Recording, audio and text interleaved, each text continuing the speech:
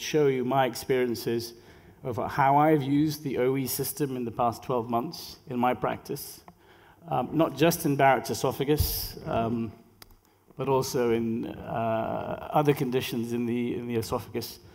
Um, but just to, to set the scene, um, do we need to improve? You know, do we need new endoscopes? Do we need new technologies? Um, and in the upper GI tract, I think we do. And it's evidenced by the fact that we are still missing upper GI cancers. And the mortality from esophagogastric cancer remains very, very poor. Doesn't matter whether you're in the east or the west, people are still dying a horrible and often um, quite uh, painful death from this. And this is a, a, manuscript that was published in Endoscopy from uh, some colleagues in the UK. And there was a meta analysis where they looked at 10 studies and they looked at the rate of missed cancers.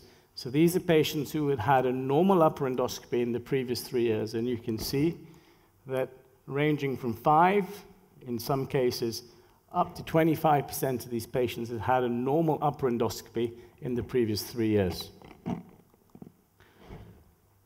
So, in summary, 11.3% of upper GI cancers were missed in endoscopy up to three years before. And so there is a real need to try and improve the quality of upper GI endoscopy, um, to create opportunities for early diagnosis, and ultimately, this will lead to minimally invasive endoscopic therapy. We're not here to talk about the therapy, but the advances in minimally invasive endoscopic therapy, from resection to ablation, um, continue to evolve on a, on a year-by-year basis. And so has the technology in imaging. Where are we now? At our hands, we have a whole armamentarium of endoscopes, from um, near-focus endoscopes to magnification endoscopes, um, to confocal endosystem microscopy, um, to laser imaging, to near-focus endoscopes. The technology that we have available in our endoscopy suites is evolving on a daily basis. We have here VLE, where you get a 3D volumetric reconstruction of the tubular esophagus. We have magnification endoscopy here. This is with the magnification scope with acetic acid. We have confocal endomicroscopy. We have laser imaging. We have filtering imaging. We have red flag technologies such as autofluorescence. This is the new BLI system.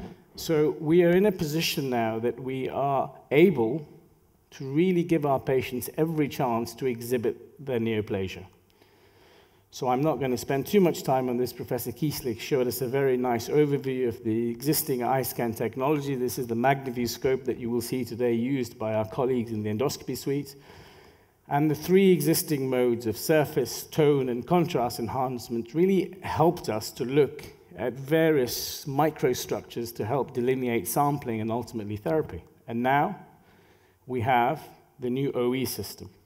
Um, and you know, my hat goes off to the team behind the scenes. I'm not going to spend too much time talking about the, the, the unique filtering and post-processing technologies, but what we have now is a, a, a, a, real opportunity for in vivo diagnosis. But before I show you some nice videos, in vivo diagnosis is all about recognizing normal. And when you know what normal looks like, then abnormal becomes very, very easy. So we know that with mucosal architecture, whether it's in the colon, whether it's in the stomach, whether it's in the tubular esophagus, that normal is nice, regular, arranged architecture. And then you go through a sequence of inflammation where you can go back to regular, but then you get irregularity and you get featureless mucosa, which is in keeping with early neoplasia. We know that with microvasculature, where you get distortion first in the inflammatory phase, which again is reversible, but then it progresses to tortuosity and irregular dilated vessels, which again are in keeping with early cancer. And we know in the esophagus and the upper GI tract, which is what I'm talking about, in the esophagus, changes in the microvasculature and the intrapapillary capillary loops are indicative of a condition called ESCN, early squamous cancer, and we've heard about Barrett's esophagus already, where you get mucosal abnormalities and irregularities suggestive of neoplasia. We will see today a very nice case, and one of the live cases of a, patient with gastric metaplasia, and again, the same principle applies that you get changes from metaplasia to neoplasia with subtle changes in the microvasculature and the micromucosal patterns. So, this was really the first manuscript back in 2013 in the ex vivo study of 10 patients with ESCN, where the three different filtering techno technologies were used uh, and bench tested and really set the scene for where we are now with our clinical application of OE. So I'm not going to talk about Barrett's esophagus first, Professor Kiesslich, just sorry to disappoint you. I'm going to talk about ESCN and squamous dysplasia, which is not a condition we see a lot of in the West, which disappoints me because I think a lot of our MDMs, we have a lot of patients with squamous cell cancer, and so it must exist there. Maybe we're just missing it, or we just don't see these patients. But again, this is a very subtle change in the microvasculature. There is no mucosal abnormality like we have in Barrett's esophagus. We get changes first from normal intrapapillary capillary loops, and you can see here you go through the different stages, a vascular stage initially, and then with deeper cancer, you get a more vascular stage, and it's the anomalies that you see in these IPCLs that are indicative not just of the stage of neoplasia, but also of the depth of neoplasia. So this was, um, if I can just ask you to, to play the video for me, please. Um, this is one of the, uh, the first or second week that... Um, let's get you to play the video for me, please.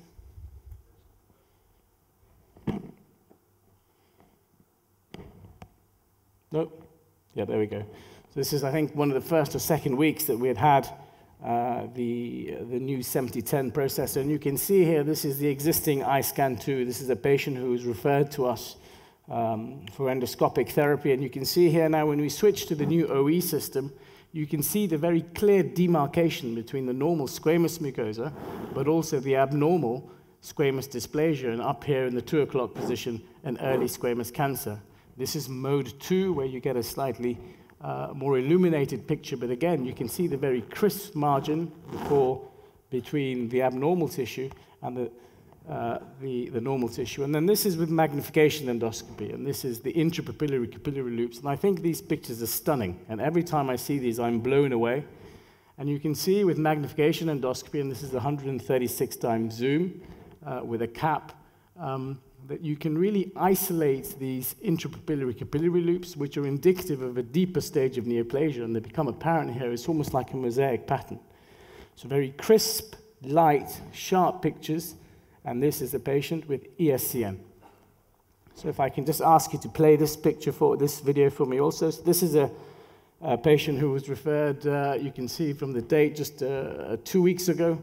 Uh, it's a patient who had a uh, cervical squamous cell cancer, which was treated with radiotherapy.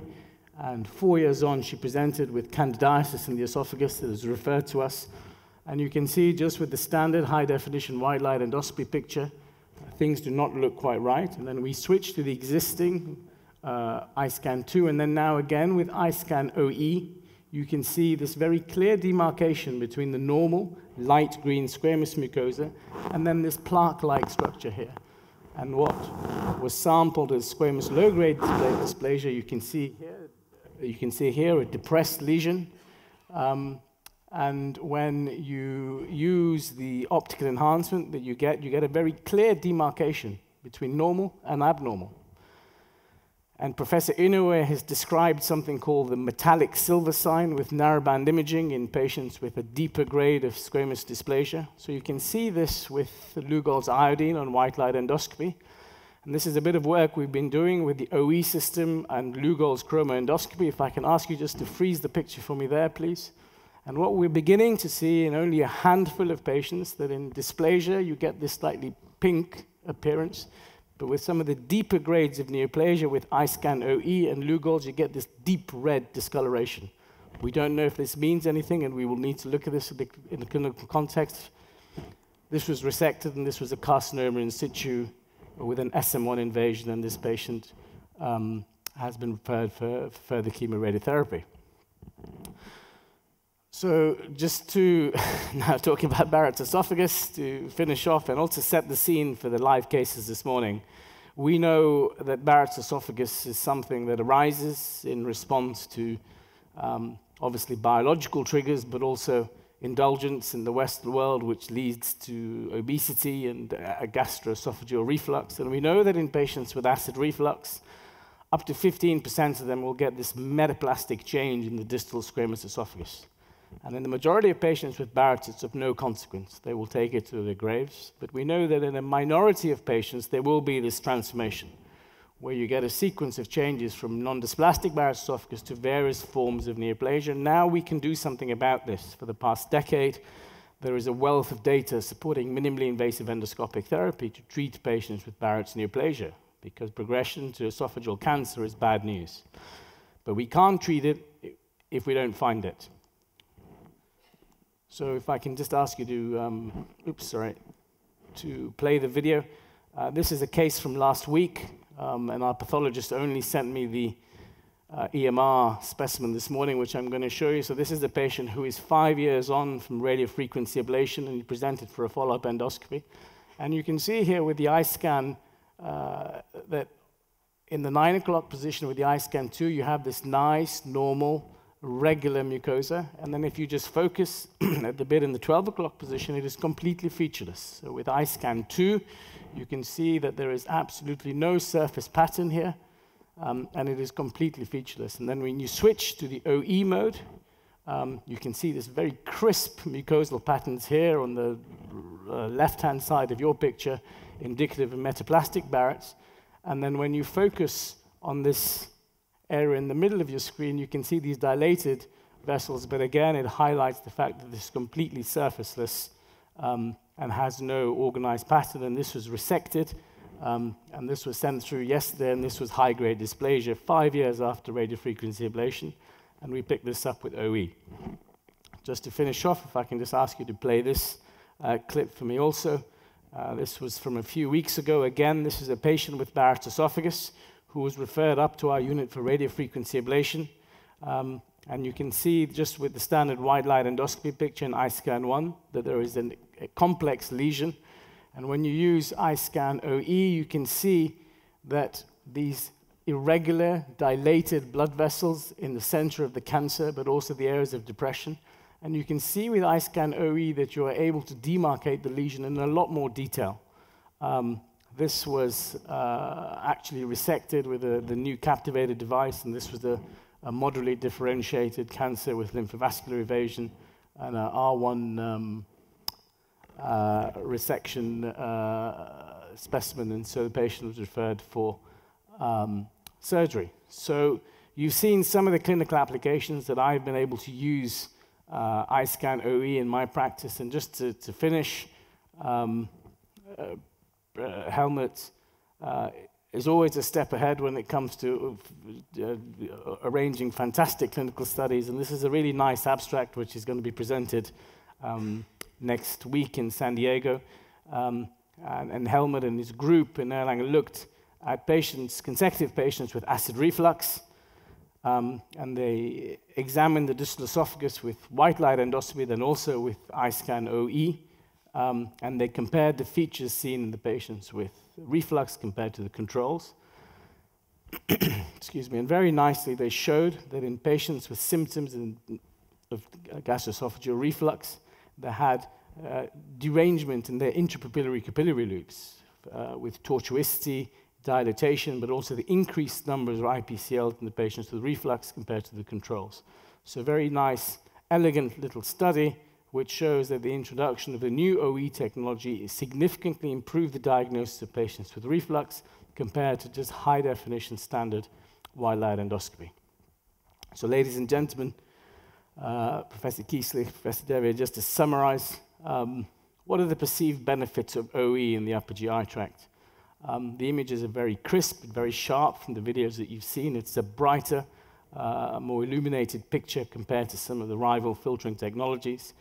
Uh, you don't lose out on the mucosal characterization. It's purely for vessel characterization, I agree, but you still get the mucosal delineation that you need.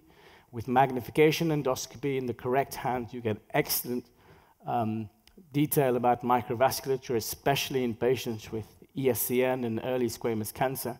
Um, and now we're in a position that we have this technology in our hands to look at targeted multi-center trials to guide users to the best practice moving forward. Thank you very much.